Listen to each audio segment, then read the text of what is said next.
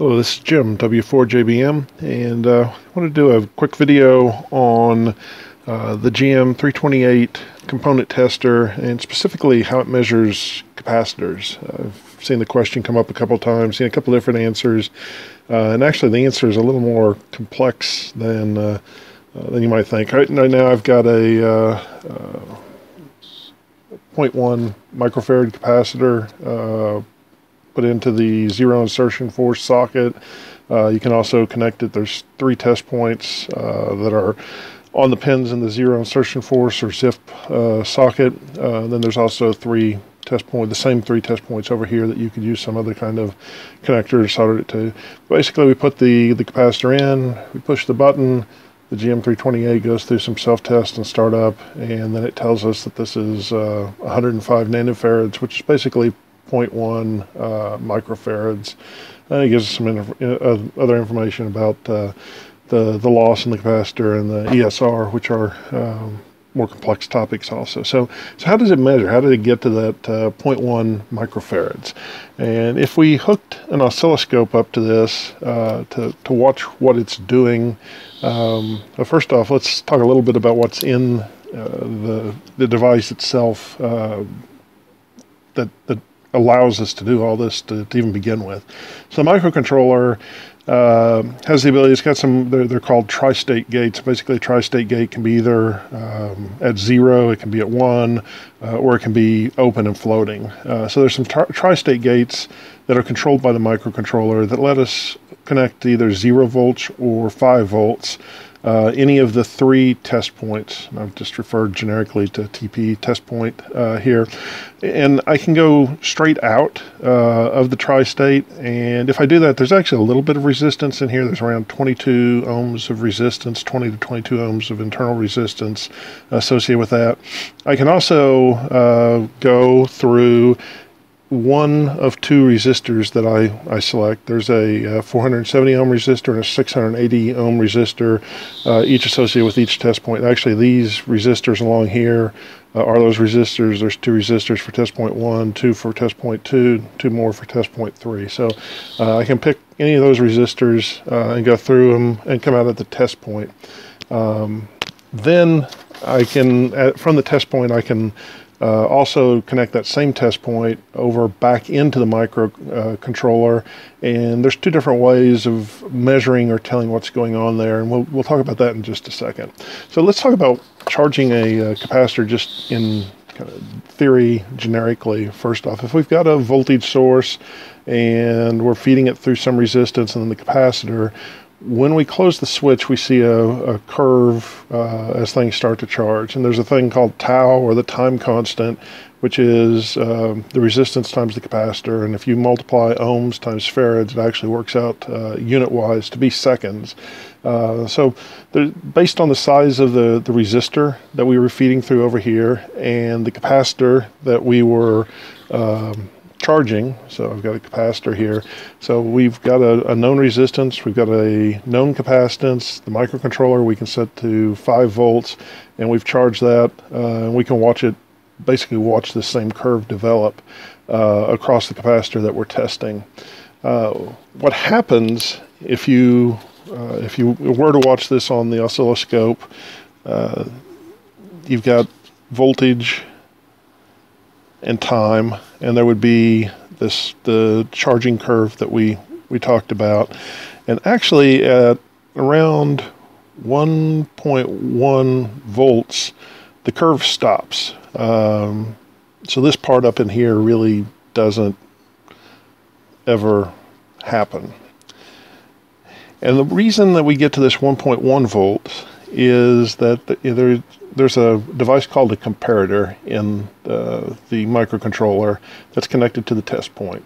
So a comparator simplified, it, it tells you if you're above or below some voltage reference that you're feeding into one pin. So you've got one pin that's coming in, and that's your, your input voltage, the one you're evaluating. You've got some reference voltage that you're comparing it against.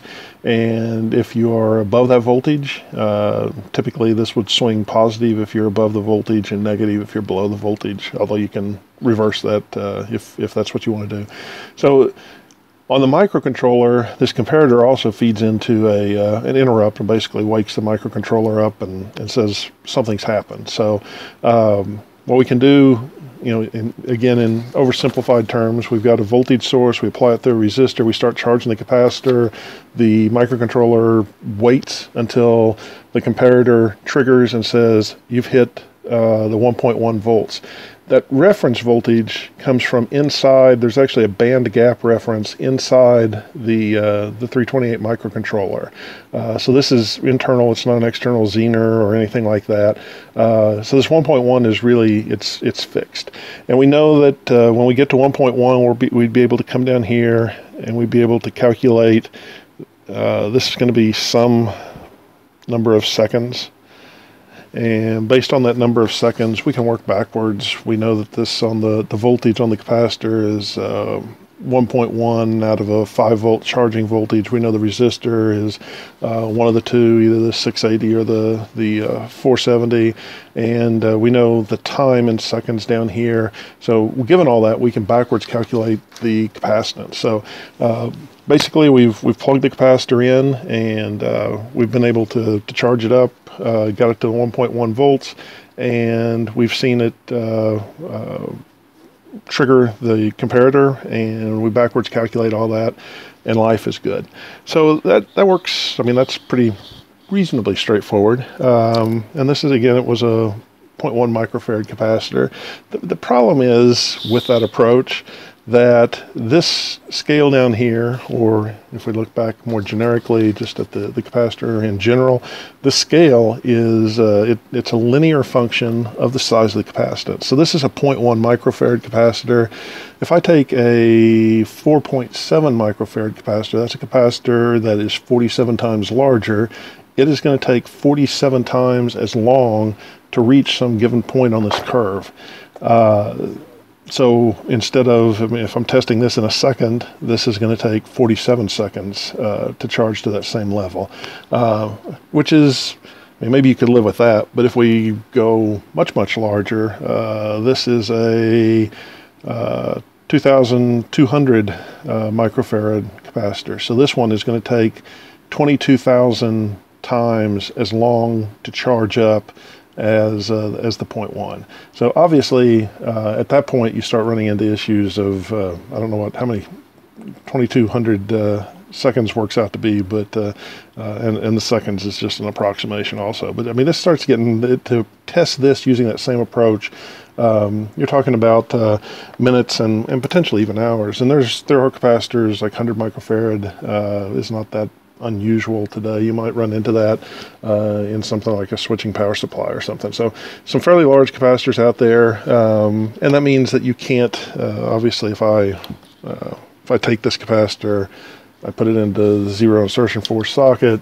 I push the button, uh, it goes to the self-test and test the component and measures that uh, it's actually coming out at uh, a little over 2,000 microfarads that did not take uh, take minutes and minutes. Uh, again, it, the the time there was, uh, and actually the time specified. If you read the specifications, uh, says the average test time is around two seconds for for any type of component you might connect to this. So um, that's uh, basically what that tells us is that there's got to be a different approach that's being used when we, we measure this. And in fact, if we look at this, and I've uh, I've spent some time uh, digging into the, the history of where some of the, the code firmware that that is in the uh, GM 328 came from, uh, some magazine articles and and uh, some uh, some code that's floating around on the, the internet that uh, was the genesis, kind of the, the basis for this. Uh, you can see here I've got a, a wire uh, soldered in on the ground. That's because I was watching the pins uh, to measure different things.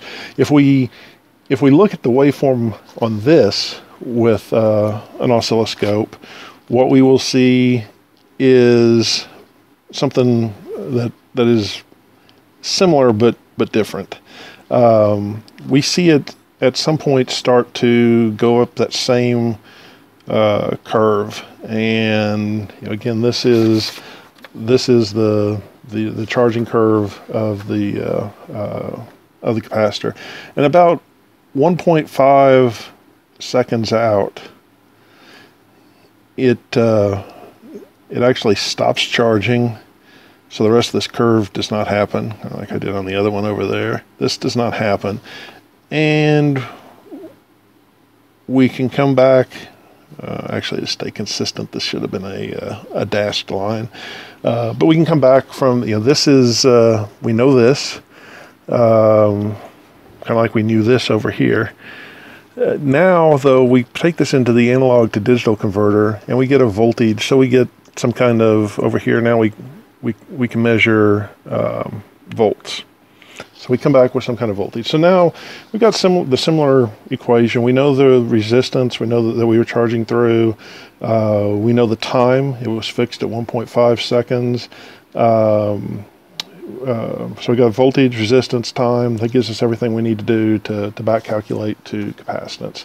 So we can can use that uh, and, and get a, a fairly accurate reading. Um, so there's basically two different approaches that are used. Now, one question you might have is why why do I have to use two different approaches? Why can't I just use one approach? Well, the the problem is that um, I use a highlighter, which probably isn't going to show up the greatest. But if I had taken this uh, 2,000 microfarad capacitor and used this approach over here, this line, and this is not not to scale at all, but um, uh, this line might look something like uh, like this. Actually, it'd be much uh, there'd be much less slope to it. It'd actually be uh, you know even the larger the capacitance, the the lower this line would be. Uh, but getting to this 1.1, all of a sudden we start looking at those you know the, the, thousands of seconds. So why not always use this approach where we we charge it for 1.1 second or 1.5 seconds and then measure it? Well, if I have a really small capacitor, what this curve is going to look like is something like that. Um, and you know, depending on like a, a little bit larger capacitor might be there. A really small capacitance, like when we talk about uh, a few picofarads may charge almost instantaneous uh, with respect to, to the 1.5 seconds that we're, we're measuring. So we wouldn't be able to, there's some limit that uh, we have to be on a curve that is continuing to grow. In, in other words, we can't, uh, if we're if we're up here above two tau, two times the time constant, uh, or something, we, we start losing on, on, this. We really have started losing accuracy. Um, by four or five tau, you're basically 105 percent, 100 percent charged. I think four tau is uh, around 98 percent, and five tau is 99 point something percent. So basically, you're fully charged after that. So these smaller capacitors, we can't do it um, because of that.